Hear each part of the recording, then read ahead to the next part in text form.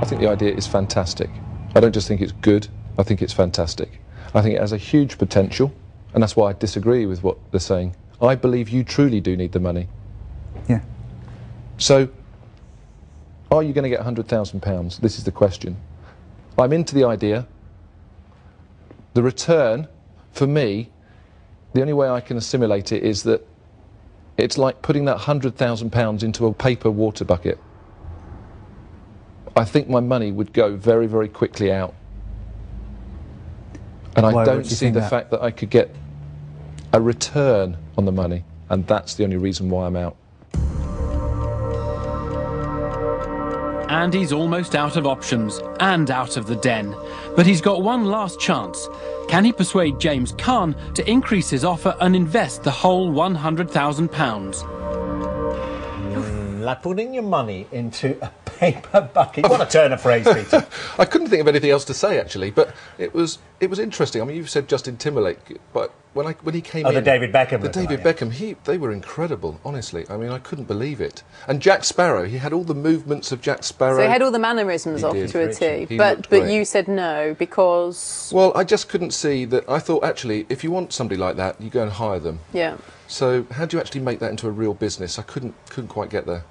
An agency, I guess. I mean, that's what they were asking for. Yeah, and they actually form an agency, so they all work together, and you hire them out at two hundred and fifty pounds a year, three hundred pounds, whatever, and you pay this sort of subscription fee.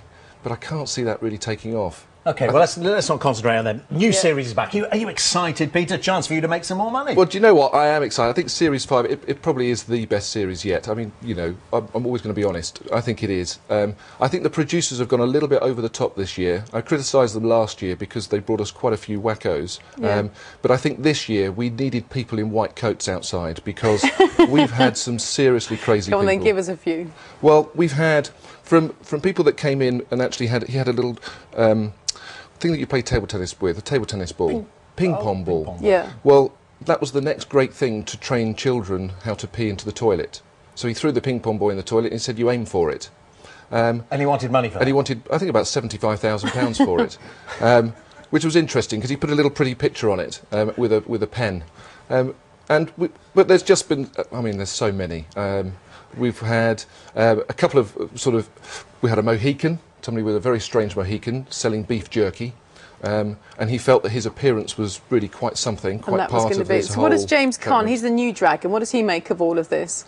Well, James is an interesting one, and I think I don't want to spoil it for, for, Yeah. the, for the fellow viewers. And I tell you why is because I don't think I've quite met anybody um, in my history of working in business that has quite the same investment strategy as James.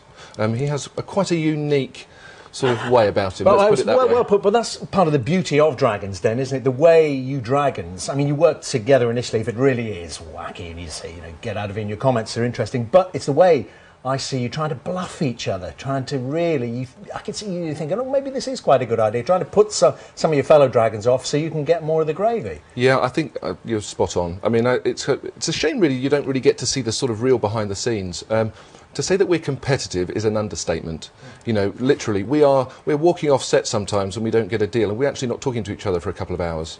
Um, so there's a lot of goings on, and I think behind the scenes it will be great, and you might actually get to see that some of it on the. That would be good. I think we'd It's a like good that. idea.